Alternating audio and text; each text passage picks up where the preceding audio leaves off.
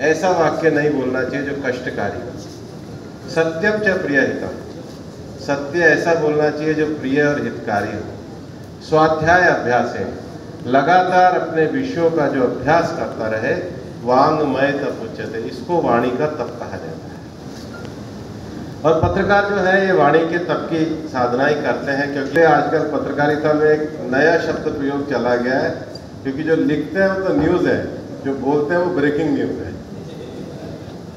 और इसलिए अभी जो हम नई पत्रकारिता में जो कई नई टर्मिनोलॉजी की बात जो हम कर रहे हैं, क्योंकि पत्रकारिता के साथ साथ पचास के, साठ के, सत्तर के दशक में जो पत्रकारिता थी, वो लेखन तक सीमित और बड़े बड़े लोग मतलब गांधी जी भी पत्रिका का संपादन करते थे, पत्रकार, बाबा साहब भी पत्रकार, पद, समाचार पत्र निकालते थे। तिलक महाराज भी केसरी जैसा पत्र निकालते थे। तो राष्ट्रवाद के विचार को, भारतीयता के विचार को जिन लोगों ने भी प्रखर रूप से प्रकाशित करा तो आपको देखने में आएगा कि उन्होंने बहुत अच्छे पत्रकारिता के विषयों को लगातार लिखा। एक सातत्य भाव से लिखा। गांधी जी का तो संपादकीय सब लोग पढ़ते, बाबा साहब का जो मुँह बगीर समाज का जो संपादकीय सब लोग पढ़ते हैं।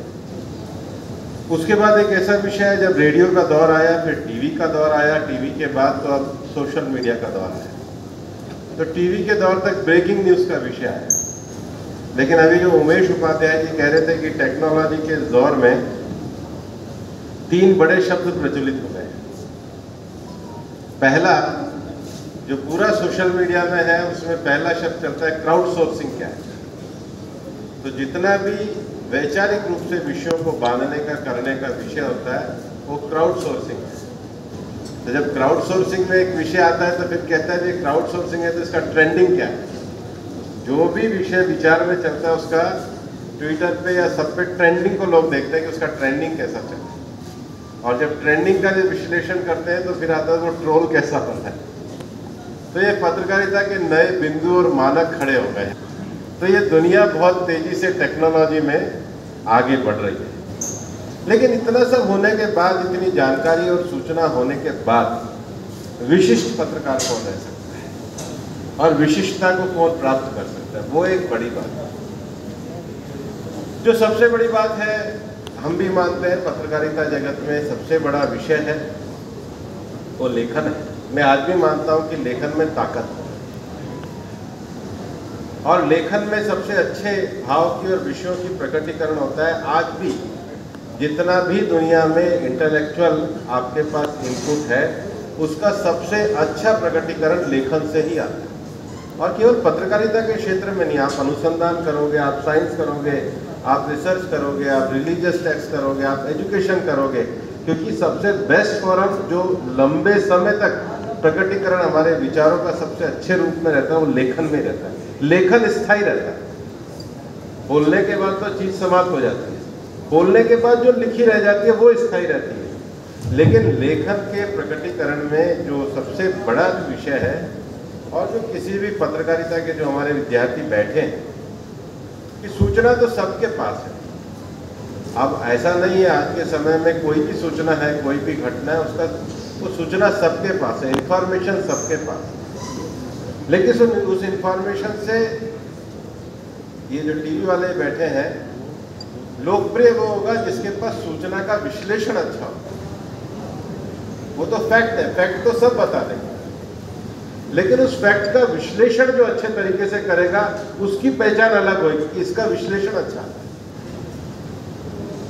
और विश्लेषण के बाद भी जो ज़्यादा माने जाते हैं, जिनको कहा जाता है कि विश्लेषण नहीं है विश्लेषण के आधार पर जो अनुमान देते हैं, वो कहते हैं ये सटीक है। विश्लेषण भी इधर उधर से पूछ के करते हैं, उसका जो अनुमान आता है।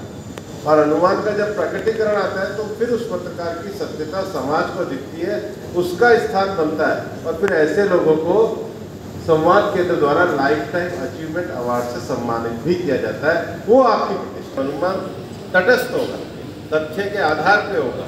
सत्य के आधार पर होगा तो फिर उसका सही तरीके से उसको एक लाइफ टाइम अचीवमेंट और इसलिए पत्रकारिता जगत में जब गणेश शंकर विद्यार्थी जी जैसे को हम याद करते हैं तो हमें लगता है कि सत्यता के साथ कही हुई बातें आज नहीं तो कल समाज ने बाद में उसको स्वीकार लेकिन एक और विषय है कि समाज में हमको ये जो ताकत है सूचना इंफॉर्मेशन की जो ताकत है, इसको आगे कैसे बढ़ाए? कभी भी भगवत गीता है भगवान कह के गए हैं कि कभी भी समाज, सत्व, तमस और रजत से कभी भी रहित होता ही नहीं है।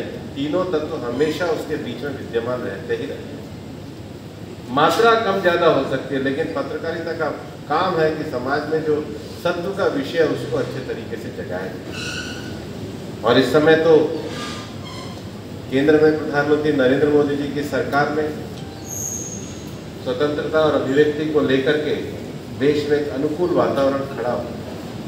आठ सालों में जो सरकार माननीय प्रधानमंत्री जी के नेतृत्व में चली है, उसने पिछले आठ सालों में देश में सेवा के काम के माध्यम से, सुशासन के माध्यम से, गरीब कल्याण के माध्यम से, नवाचार के माध्यम से, और उससे भी ज़्यादा जो पांचवा विषय है दृढ़ इच्छा शक्ति के माध्यम से आज पूरी दुनिया में एक नए मुकाम पे भारत को पहुँचा और मैं इसलिए कहना चाहता हूँ कि कई बार केवल राजनीतिक घटनाएँ समाचार नहीं होती। हमारे आसपास की सामाजिक स्थिति भी समाचार होती। हमारी पर्यावरणीय विषय भी समाचार होते।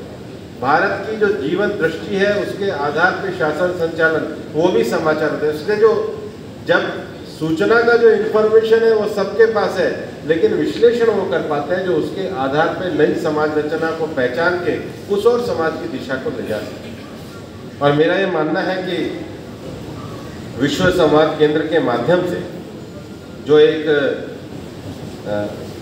नब्बे के दशक में जो विश्व संवाद केंद्र की स्थापना की गई, वो वास्तव में इसीलिए करी थी कि कई बार समाज में जो एक अच्छी सकारात्मक राष्ट्रवादी जो विचार है वो राष्ट्रवादी विचार सही तरीके से, सही परिप्रेक्ष्य में लोगों के सामने कैसे आए? राजीव जी ने जब इस विषय को शुरू किया तो उनका विषय करने की दृष्टि ये थी। और मेरा ये मानना है कि विश्व संवाद केंद्र ने, मैं बहुत सारे उनकी पुस्तकों और विषयों का अध्ययन करता हूँ, और मेरा ये मानना है कि विश्व संवाद केंद्र के द्वारा कई विषयों को इतने अच्छे तरीके से उठाया गया है, जिसके बाद समाज की दिशा एक बहुत सकारात्मक तरीके से तय हुई।